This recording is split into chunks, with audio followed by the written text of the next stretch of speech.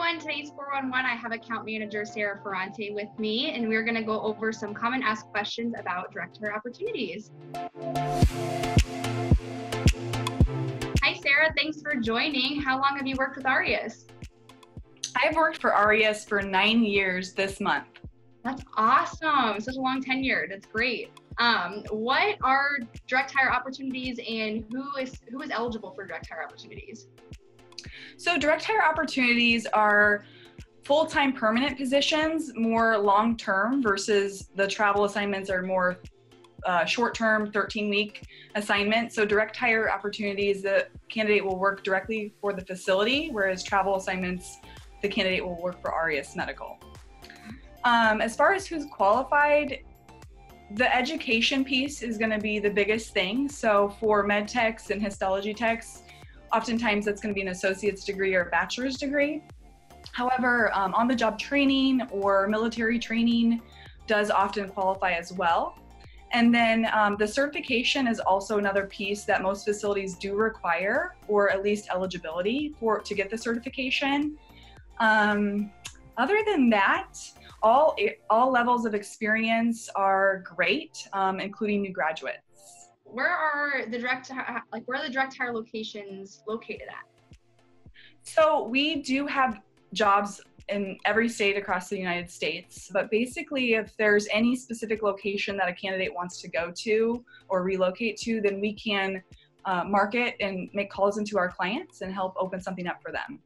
Can you tell me a little bit about the process of obtaining a direct hire position with Aureus? What is it like? the candidate will start with filling out an online application and um, we'll talk to them about their preferences for location and shift and things like that. And then upon su- submitting them to a facility that they're interested in, we'll set set up a phone interview to start.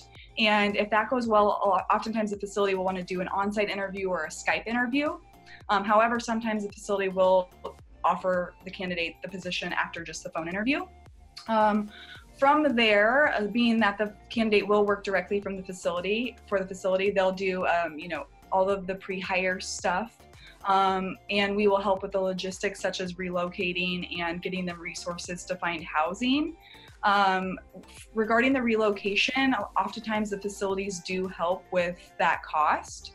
Um, however, it's going to be over the first couple of paychecks. So the candidate does need to be financially prepared to relocate because those costs are not covered up front.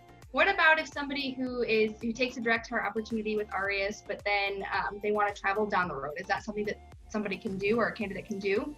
Oh, absolutely. Yeah, we have that happen a lot. Um, you know, uh, we try to have a candidate be able to commit to uh, one to two years for a direct hire position. Um, however, you know, we are going to be able to stay in touch, and if the timing lines up to start traveling again, that's always a possibility.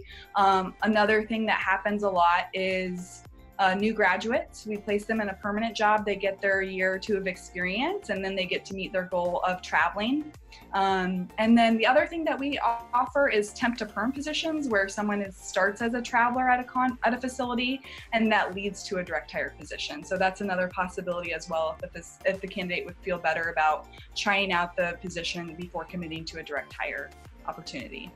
Thank you so much again, Sarah, for joining, and thanks for tuning in. If you have any further questions on how to apply to direct hire opportunities with Aureus, reach out to me today. And if you haven't already, check out our Facebook groups. The links are listed above.